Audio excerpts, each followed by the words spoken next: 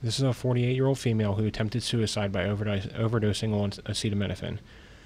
Images demonstrate hyperintense FLAIR signal abnormality within the dorsomedial aspect of the thalami and extending into the midbrain. There is abnormal diffusion restriction at those sites without contrast enhancement. Given the stated clinical history, the findings are most compatible with acute hepatic encephalopathy in the setting of acetaminophen toxicity. Hepatic encephalopathy may be either acute or chronic. Acute cases typically arise in the setting of acute hepatic failure.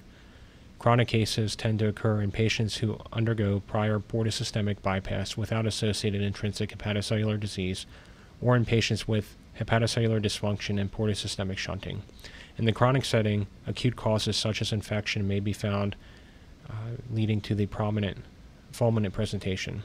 Classic MR imaging abnormalities include high T1 signal intensity within the globus pallidi, with mild cases demonstrating T2 FLAIR, symmetrically hyperintense signal intensity in the insula, thalami, and posterior limbs of the internal capsules. Diffusion signal abnormality may be present and can reverse if therapy for the underlying acute decompensation is instituted early. The extent and severity of the FLAIR and diffusion weighted imaging correlates with the plasma ammonia level. The presence of cortical T2 FLAIR and diffusion weighted signal abnormalities indicates increased risk of mortality.